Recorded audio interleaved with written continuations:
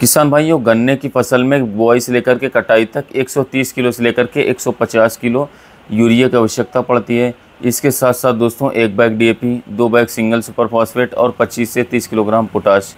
हमारी पाँच बीघे ज़मीन के लिए काफ़ी हो जाता है गन्ने की फ़सल में। लेकिन दोस्तों, किसान भाई इससे बहुत ज़्यादा मात्रा में हाथ धोकर के इस्तेमाल कर लेते हैं। और यूरिया तो इन खादों से कहीं ज़्यादा किसान भाई इस्तेमाल करते हैं। किसानों का मानना है कि जितना ज़्यादा यूरिया डलेगा, उतना ही ज़्यादा नरमाई आएगी, उतना ही ज़्यादा हमारा पौधा बढ़ेगा, उतना ही ज़्यादा लंबाई होगी, उतना ज़्यादा हमारा कलर आएगा। और इसके साथ साथ ये जो खाद डालने का सिलसिला है, अगर जुलाई से पहले पहले तक निपट जाए तो भी ठीक है, लेकिन कुछ मेरे किसान साथी जो हैं जिस प्रकार जुलाई से पहले गर्मी में यूरिया का इस्तेमाल करते हैं, उसी प्रकार से दोस्तों बरसात में भी यूरिया का इस्तेमाल करना चाहते हैं। उनका मानना ये है कि एक तरफ़ तो बरसात हो रही है, ऊपर से आप यूरिया डाल दो तो हल्की हल्की बरसात होगी और इसके साथ साथ और ज़्यादा नरमाई बनेगी, चाहे गन्ना फ़सल में, और बहुत ही तेज़ी से हमारा गन्ना और तेज़ी से विकास कर जाएगा बरसात में। मैंने देखा है कि ज़्यादातर किसान भाई ये समझते हैं कि बरसात में अगर आप यूरिया डाल दें तो और ज़्यादा तेज़ी से हमारा गन्ना विकास करेगा, लेकिन दोस्तों होता इसका उल्टा है। तो दोस्तों, होता क्या है कि गन्ने की फ़सल में यूरिया जो है बरसात के समय पर आप अच्छी तरीके से बहुत सोच समझ कर यूज़ करें, तभी आपको अच्छा रिज़ल्ट मिलेगा। इस समय पर दोस्तों, गन्ने फ़सल में फंगस का भी अटैक ज़्यादा रहता है। कीटनाशक बीमारियों का भी दोस्तों, बहुत ज़्यादा अटैक बढ़ जाता है। और इसके साथ साथ ऊपर से अगर आप यूरिया डाल दें तो किसान साथियों, सोने पर सुहा सुहागा हो जाता है कीटों के लिए। और इसके साथ साथ बहुत तेज़ी से हमारी जो गन्ने की फ़सल है, वो बिगड़ना शुरू हो जाती है। पिछले वर्ष तो बहुत ज़्यादा नुकसान रहा है, इसकी वजह से किसानों ने बहुत ही ज़्यादा यूरिया का प्रयोग करा। बीमारी में और ज़्यादा बीमारी गन्ने की फ़सल में बढ़ती गई और किसान साथी बहुत ज़्यादा नुकसान किसान भाइयों को पिछले वर्ष उठाना पड़ा। इस साल भी जैसे ये बरसात शुरू हुई कि किसानों के सवाल आ रहे कि बरसात में हम कितना यूरिया डालें, इसके अलावा कितना यूरिया का हमें प्रयोग करना चाहिए। तो सबसे पहले तो मैं बता दूँ आपको किसान साथियों, जितने भी आपको मैंने ये खाद बताएँ वो चाहे यूरिया हो, वो चाहे डीएपी हो इसके अलावा वो चाहे एमओपी हो, वो चाहे सिंगल सुपर फॉस्फेट हो। मिट्टी चढ़ाने तक हमें सत्तर परसेंट खादों का इस्तेमाल कर लेना चाहिए, जो मैंने मात्रा बताई यानी कि दोस्तों, बुआई से 120 130 दिनों पर 150 दिनों पर गन्ने के फ़सल पर हमें ये खादों का, जो मैंने आपको बताई मात्रा है, वो 60 से 70 परसेंट इस्तेमाल कर लेनी चाहिए। इसी समय पर ही हमारी फ़सल को सारे पोषक तत्वों की आवश्यकता रहती है। बरसात जब आती किसान भाइयों, गन्ना अपना जड़ फैलाना शुरू कर देता है। सारे खेत में जड़ों का विस्तार हो जाता है, जो हमने खाद डाली दोस्तों। जो पौधे के समीप पड़े हुए वो पौधा तो अवशोषित कर लेता है। शुरू के टाइम में ही 120 से 150 दिन पर ही। लेकिन जो निश्चल अवस्था में हमारी खाद पड़ी हुई है, जैसे ही जड़ फैलेंगी, बरसात में जैसे ही हर वक्त हल्की नमी बनी रहेगी मिट्टी में, और वो जड़ फैलेंगी, और उसके साथ साथ उनको जो पड़ा हुआ खाद है हमारी मिट्टी में, ऐसे ही पड़ा हुआ है, उसको अवशोषित करेगी तो बरसात में आप देखना कि स्वतः ही हमारी फ़सल एक अच्छी ग्रोथ लेना शुरू कर देती। लेकिन दोस्तों, फिर भी किसान साथी समझते हैं कि मुझे यूरिया का बहुत ज़्यादा प्रयोग करना चाहिए, और यहीं से ही परेशानी आ जाती है। तो किसान साथियों, बरसात के मौसम में हमें यूरिया का इस्तेमाल बिल्कुल भी नहीं करना चाहिए, ये बात को आप ध्यान से सुन लीजिए। और इसके अलावा सवाल उठता है कि कई सारी दवाई हैं जिनका इस्तेमाल यूरिया के साथ करना ही पड़ता है, अवश्य करना पड़ता है, जैसे फर्टेरा हो गया इसके अलावा फ्यूराडान हो गया, वर्टाग हो गया तो अब इसको डालना ही तो कितनी मात्रा में यूरिया के साथ डालें तो किसान साथियों, अगर दवाई के साथ आपको यूरिया का इस्तेमाल करना है तो कितनी मात्रा आपको डालें एक चीज़ और बताऊँ, वीडियो में आगे बताऊँगा दोस्तों कि यूरिया का अल्टरनेट क्या है, कैसे हम अपने पौधे को जो है यूरिया भी देते रहें और इसके साथ साथ हमारी फ़सल में बिल्कुल भी दिक्कत ना आए। तो पहले बताता हूँ किसान साथियों, अगर यूरिया डालने की ज़रूरत पड़े भी जाए तो आपको केवल पाँच किलोग्राम प्रति बीघा यूरिया लेना है। इसी भी दवाई को डालने के लिए दोस्तों, और इसके साथ साथ या कोई भी खाद डालने के लिए अगर आपको यूरिया मिलाना पड़ रहा है दोस्तों तो आप केवल पाँच किलोग्राम प्रति बीघा का इस्तेमाल करें।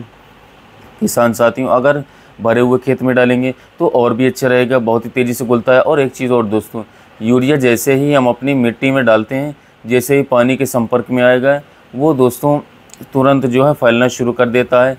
किसान भाइयों, पहले अमोनियम होता है उसके बाद जो है नाइट्रेट में ये जो है परिवर्तित होता है। आठ दिन इसको रिज़ल्ट को दिखाने में लग जाते हैं यूरिया को। किसान साथियों, ये ऐसी खाद है जो फैलती है। आप अगर डाल दोगे दोस्तों, हमारी जड़ों तक पहुँच जाएगी। पौधे की किसान भाइयों, इसका पूरा रिज़ल्ट आपको देखने को मिलेगा। तो दोस्तों, किसान साथियों, केवल और केवल पाँच किलोग्राम यूरिया का ही इस्तेमाल अगर हम करें दोस्तों, बरसात के समय पर अगर हम एक दो बार डालना भी पड़े तो तो सही है इससे ज़्यादा मात्रा अगर आप डालोगे दोस्तों तो फ़ायदे की जगह आपको नुकसान झेलना पड़ेगा। अब आते हैं दोस्तों कि अगर हम यूरिया न दें तो क्या करें? तो किसान साथियों, कीटनाशकों का प्रयोग हमें लगातार गन्ने की फ़सल में करना पड़ रहा है। अब तो हालत ऐसे ही है कि सब्ज़ी की तरह इनमें गन्ने की फ़सल में जो है स्प्रे लगानी पड़ती है। किसान साथियों, जब भी हम स्प्रे लगाएँ, उसके साथ साथ हम N P K water soluble जो होता है, किसी भी ग्रेड का इस्तेमाल कर सकते हैं। बरसात के लिए जो सबसे अच्छा ग्रेड है दोस्तों, वो है N P K zero zero पचास या फिर एन पी के ज़ीरो बावन चौंतीस। N P K zero zero पचास के अंदर पोटाशियम की मात्रा रहती है। पोटाश की मात्रा बरसात में गन्ने को बहुत ज़्यादा चाहिए पोटाश बहुत महँगा भी आता है बाज़ार में। एम ओ पी एक के जी दोस्तों पाँच बीघे में बहुत ज़्यादा हो जाती है। N P K zero zero पचास और पोटाश की जो मात्रा चाहिए, पौधे को उसकी भी पूर्ति हो जाएगी, महँगी खाद है। पोटाश का हमें ज़ीरो ज़ीरो पचास का हमें इस्तेमाल ज़रूर करना चाहिए। अब आती है यूरिया की बात दोस्तों।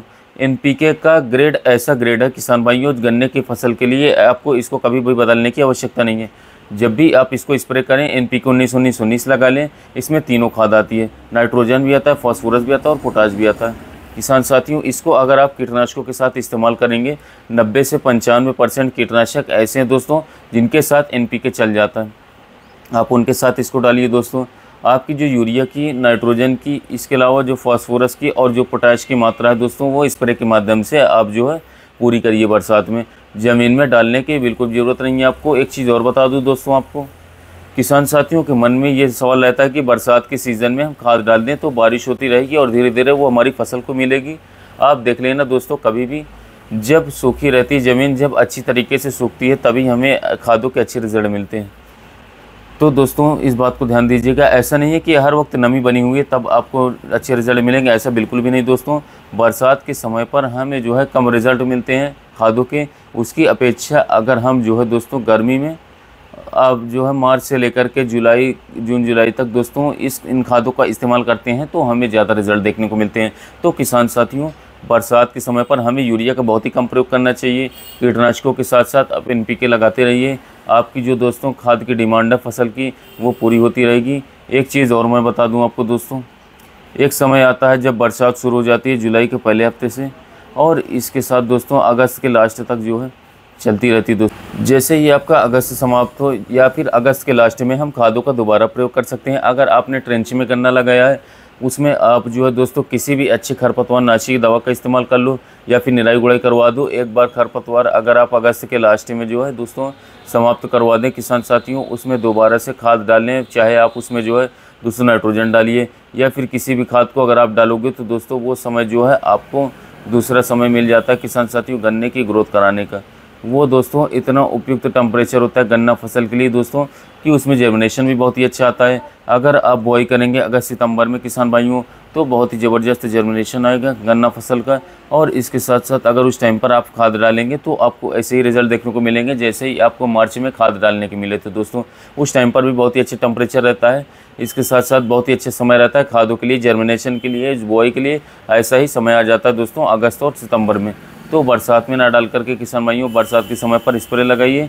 उसके बाद अगर आपकी हल्की फ़सल दोस्तों महसूस हो रही है तो आप दोस्तों खादों का इस्तेमाल जो है अगस्त के बाद कर सकते हैं। सितंबर का पूरा महीना है, अक्टूबर का पूरा महीना दोस्तों, यहाँ तक कि नवंबर के पहले हफ़्ते तक भी आप जो है खाद डाल सकते हैं। उसके भी आपको बेहतरीन रिज़ल्ट देखने को मिलेंगे। तो किसान साथियों इस वीडियो का जो दोस्तों सार है, वो यही है कि बरसात में जो है, हमें ज़्यादा ज़मीन में खाद बिल्कुल भी नहीं डालने हैं।